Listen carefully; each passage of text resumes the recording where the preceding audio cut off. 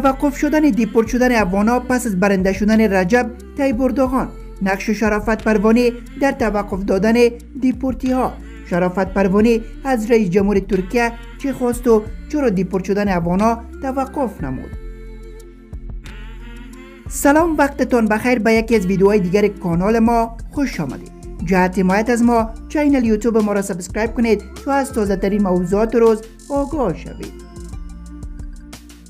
پس از چندین ماه رقابت روز گذشته در سراسر ترکیه رئیس جمهور برحال این کشور معرفی شد و رجب طیب اردوغان برنده انتخابات سال 2023 شد و قرار است تا سال 2028 رئیس جمهور این کشور باشد در توزه ترین گزارش های رسانه ترکیه گفته شده است که دیپورت شدن افغانا از ترکیه توقف کرده است و دیگر افغانا از ترکیه دیپورت نمی شود. رجب طیب اردوغان گفته است که ترکیه یک کشور مهاجر پذیر است و هیچ وقت میمانی که با وفا باشد را بیرون نمی کند.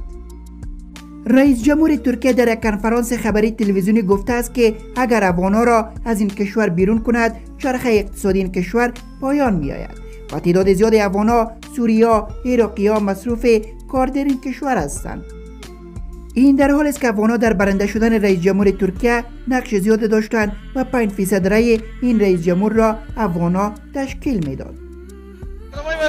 بله. بر چی آمده این امروز؟ کل فامیل آمده.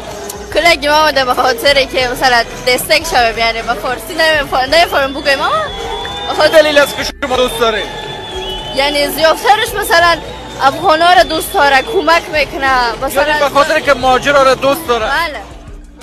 شرافت پروانی پس از سفرش به ترکیه و اشتراک وی در محافل بزرگ چهرهای شناخته شده ترکیه از رئیس جمهور ترکیه خواست تا دیگر افغانها را بیرون نکند.